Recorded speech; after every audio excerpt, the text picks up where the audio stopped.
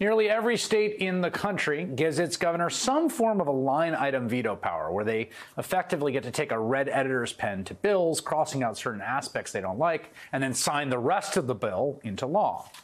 Notably, that authority is not granted to the President of the United States. The Supreme Court struck down a federal line item veto back in 1998. Despite Bill Clinton being president at the time, the federal line item veto is actually the brainchild of House Republicans, who saw it as a useful tool to rein in federal spending. During his successful campaign for governor, Wisconsin Republican Scott Walker effectively said as much the same. I have a line item veto just as powerful as governor, as the county executive. That's one of the few things that county executives have that are different than anybody else.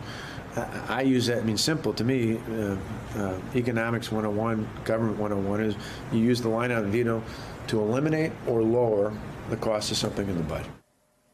Right? You use the line item veto to eliminate or lower the cost of something in the budget. Well, in the last few days, two Democratic governors dealing with hostile Republican legislatures have managed to use the line item veto to score some pretty amazing political victories.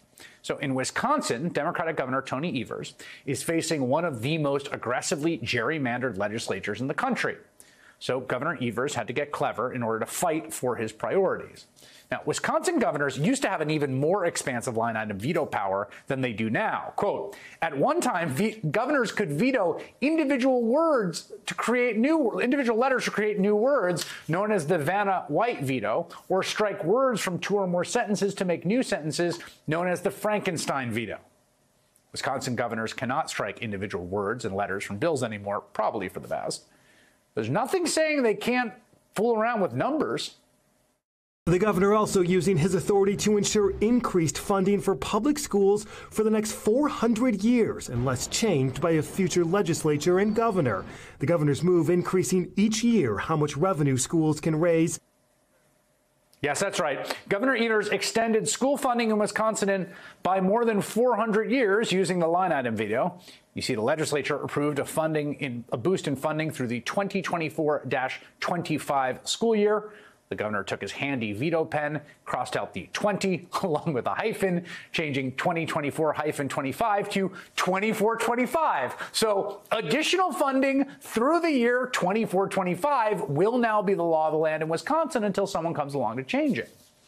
In Pennsylvania, Democratic Governor Josh Shapiro also got creative with his veto power. Shapiro negotiated an expansion of, again, public school funding, but he also had to whip votes for a controversial compromise that would subsidize private schools with voucher programs in order to pass the bill through the Republican controlled Senate, which it did last week. And before it passed the Democratic House last night, Shapiro announced he's going to use the line item veto on the school voucher program he helped negotiate and got it through the Senate after he used it as bait to get Republicans on board with his budget. All this brings me back to two major points. One, I think the case against the line item veto is pretty strong.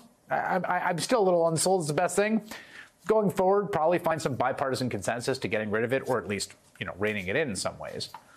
But point number two, and this is the most important thing for Evers, Shapiro, when you are elected to office of either party, but in this case of Democrats, you've got to wield the power you have on things you believe in and that you promise to deliver.